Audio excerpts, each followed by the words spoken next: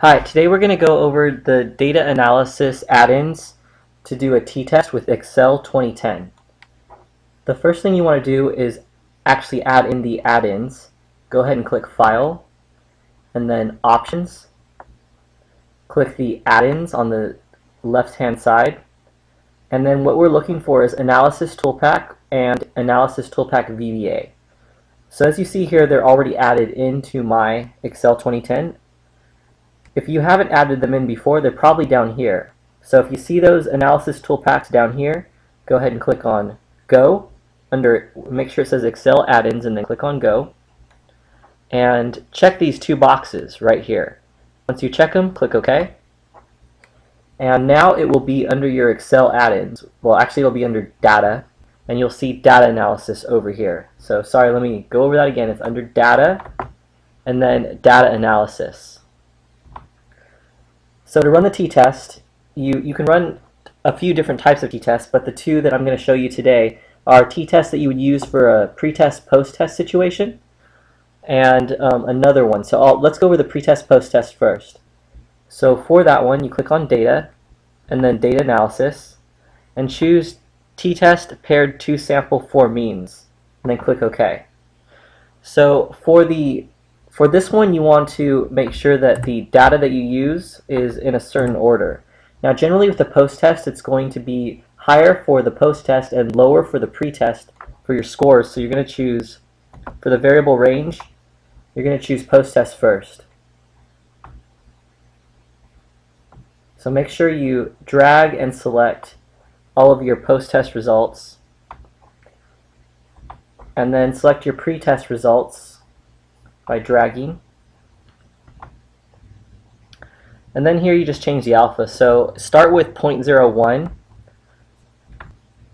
and click OK. Then you get your results. Now remember, it's going to, to do a new sheet for your results.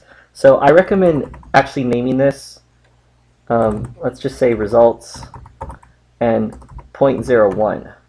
So I know what it actually is. Um, and for this one, you want to take a look at your T-stat, and your T-criticals. So we have the T-stat and the T-critical one-tail and the T-critical two-tail. Okay, so because this was a pre-test post-test, and we know that the direction is going to go up, that we're always going to get a bigger score. Well, not always, but in general, when you give someone training, they're going to improve at least by a little bit. So we know this is just going in one direction. So for that one, because it's going in one direction, we could just do a, a one tail. That's fine. And here we see the, the T-stat is bigger than the T-critical one tail. Therefore, the this is a, a significant finding. So that's exactly what we wanted to see, so that's good. Our findings are significant. But what if down here we had a, let's say we had a 9. Well then the findings would not be significant. Also, if we didn't really know if they were going to improve with the, the second variable, then we would use a two-tail test so we could see if there was any type of change, negative or positive. Um, you would go with the, the t-critical two-tail test, and this number here would have to be lower than the t-stat. So if we needed to do a two-tail, because we didn't know what direction the findings were going to be in, then we would need this to be lower. 2.97 would still be a significant finding. However, if this was higher, this was a 9, then it would not be a significant finding. Okay, so that was one type of t-test that you can run, and that's the preferred for pre-test, post-test.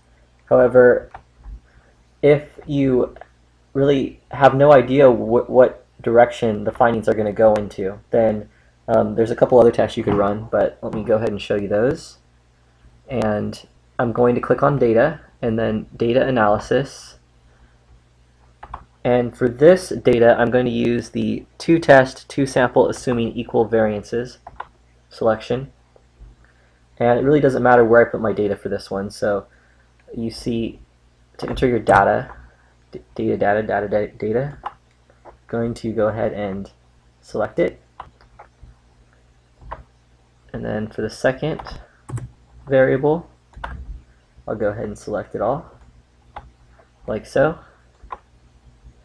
And I'm still going to leave the alpha as 0.01.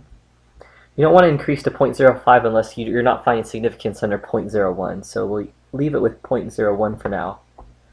And take a look. Alright, so for this one we're actually going to use the t-critical two-tail. So here's the t-stat. Don't pay attention to that negative, just kind of see it as 2.31. And t-critical two-tail is 2.76. So that is more than our t-stat. So we, we haven't found significance here. Let's go ahead and run with 0.05 to see if we find significance with that one. And I've already done it, so let's just take a look. Alright, so we're doing two-tail because we didn't know what direction it was going to go in, and it actually went in a negative direction between the two variables. So we have 2.31, and here our two-tail is actually less, so we did have a significant finding for this one. So at 0.05, we do find significance. And according to Dr. Valletta, that's good enough for 0.05 for our dissertation. So we're good to go with that if we find that with our dissertation study. In summary, just remember, always start with the 0.01. Don't go to 0.05 unless you don't find significance in 0.01 for the alpha. Always do a t-critical two-tail unless your data is just a pre or post and pre and post test. The pre and post test data, that's because you know what direction the data is going to go in. You trained them, you gave them a post test, hopefully they will improve. They should, so you just need the one tail. But if you don't know what direction the data is going to go in, do a two-tail. And also remember, you want to you want to look at the t-stat and compare it up against the t-critical one-tail and the t-critical two-tail. And you want, for significance, you want the t-tail or the t-stat to be larger than the t-critical one-tail or the t-critical two-tail. So this needs to be the bigger one. Doesn't matter if it's negative.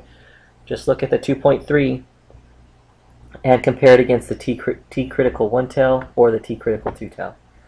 That's all I have for you. If, if you have any questions, please feel free to contact me. Thanks.